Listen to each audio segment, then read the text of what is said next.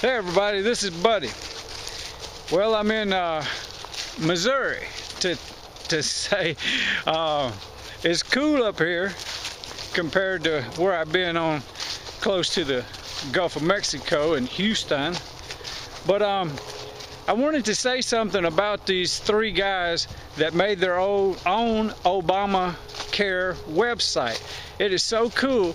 You can put your zip code in and you start getting information and prices immediately. Three young guys in their 20s in a three day period put this thing together and they're tweaking it now. And as they tweak it, they're bringing on more and more features. Look, this shows that we do not need politicians. We need technicians. We need people that know how to get the job done. The people that actually put that website together, the total price was over $600 million.